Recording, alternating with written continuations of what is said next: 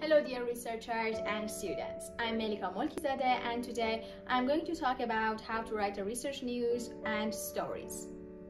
Writing a research news is important as the research paper itself because the global visibility of your research is directly related to the published news.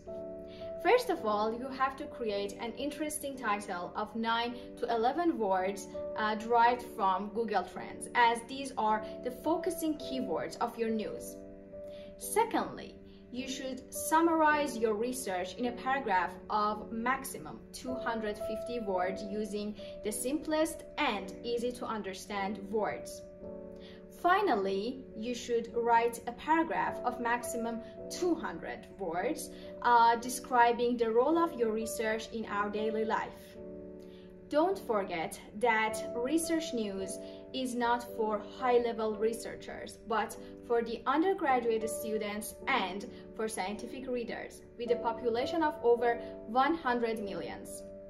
Keep following iMac Press for more updates.